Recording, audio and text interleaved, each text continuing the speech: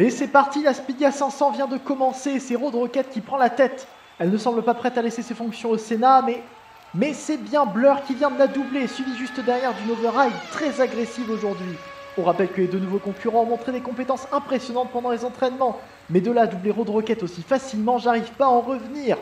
Malheureusement, à l'arrière de la course, c'est Burnout qui semble fermer la marche pour de bon. On sait à quel point elle a été efficace par le passé, mais son temps semble malheureusement révolu.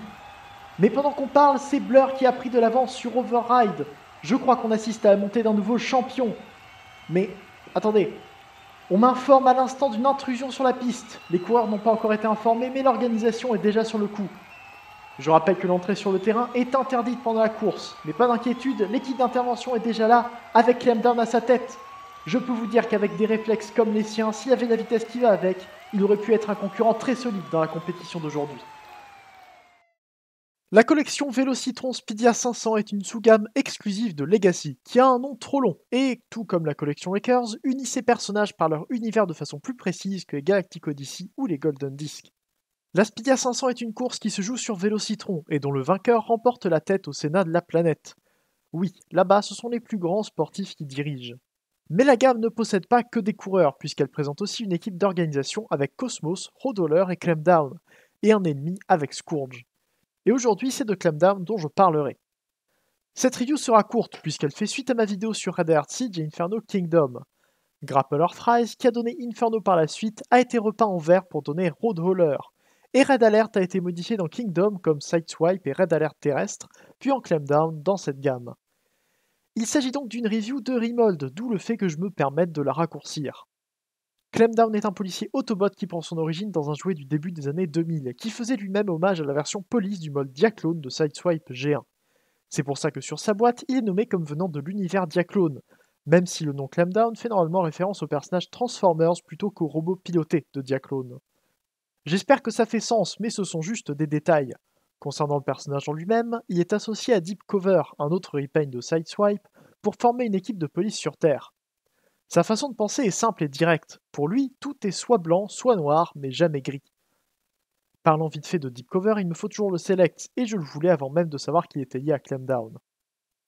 Clemdown Vélocitron est une jolie approximation de la Countach qu'on connaît bien dans la franchise. Il paraît qu'à part Breakdown, tout le monde peut en être une.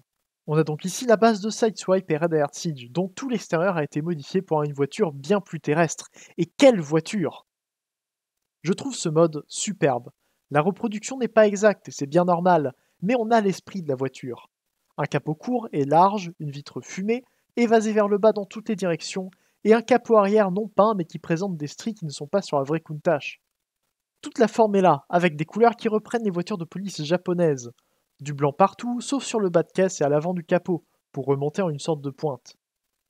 Clemdown a aussi le mot police en alphabet latin de chaque côté de la voiture, et trois badges sur le capot et les ailes arrière. Il manque peut-être de couleurs sur les feux arrière, et les phares sont étranges avec de la peinture partout sauf sur la section verticale. Mais sinon, c'est une voiture que j'aime beaucoup. Et dans la boîte, on n'a pas que la voiture. Pour repousser les émeutes ou empêcher qui que ce soit de troubler la course, Clemdown vient avec plusieurs accessoires.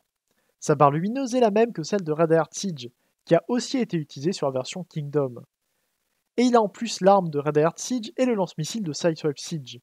Tous ces accessoires étaient également présents sur les versions Kingdom de Red Alert et Sideswipe, et le missile est un mode différent du Siege qui a perdu le PEG 5 mm transversal. Je parlais des différences avec Red Alert Siege, mais c'est parce que c'est lui qui fait la comparaison principale de la vidéo. Le jeu original de Clampdown, le Yobi, pas le Diaclone, était juste Red Alert avec des autocollants différents pour changer les détails. Mais avec mon choix de garder le Siege, je peux avoir un Clampdown très différent de Red Alert, tout en gardant une similitude frappante. Et c'est avec ce mode que je me rends compte à quel point la version Siege peut difficilement passer comme véhicule terrestre. Pour ceux qui ont Red Alert Kingdom, Clampdown n'en est qu'un repaint, dans des couleurs qui le font très bien aller avec Cordon à partir de Sunstreaker Earthrise. J'aurais juste aimé qu'il garde des applications de peinture sur les pièces arrière pour casser tout ce blanc dès qu'on dépasse les vitres. Et parlant de casser quelque chose, il est temps de casser la voiture pour trouver le robot. Pour ceux qui connaissent la franchise depuis 2019 ou qui ont regardé mes vidéos depuis deux ans, j'ai déjà présenté cette transformation deux fois en review scripté. Une fois avec Red Alert dans la review qu'il partage avec Inferno, et l'autre fois avec Gigawatt. Et on a toujours la même ici, c'est simple mais agréable, et avoir encore une fois ce mode ne me dérange pas. Et c'est à ça qu'on reconnaît un mode réussi.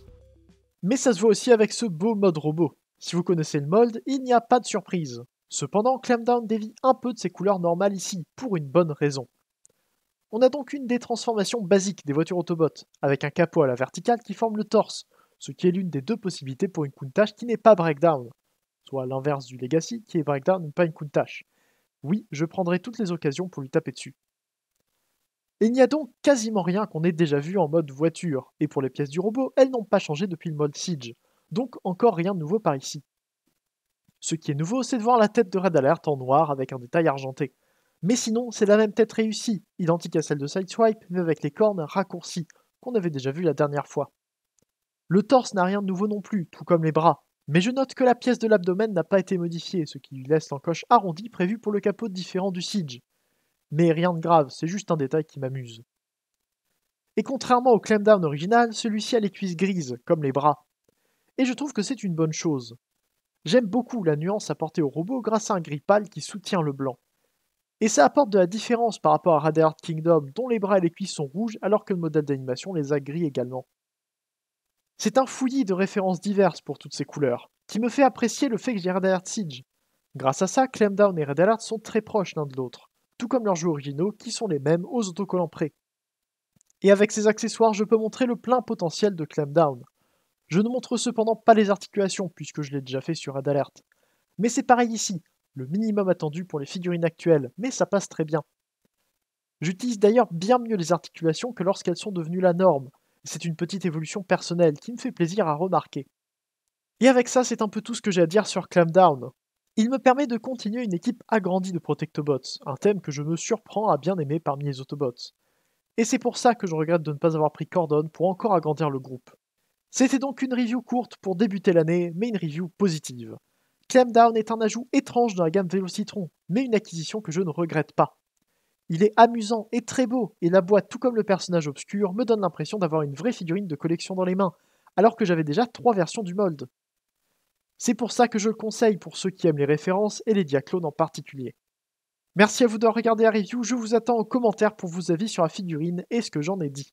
Abonnez-vous pour voir plus de contenu de ma part et faites un tour sur mon Utip si vous voulez me soutenir. Faites également un tour sur le Discord de l'Arche pour discuter avec le fandom à propos de tout ce qui touche à Transformers. On se retrouve bientôt pour une prochaine vidéo, c'était Ether Fan Fan et salut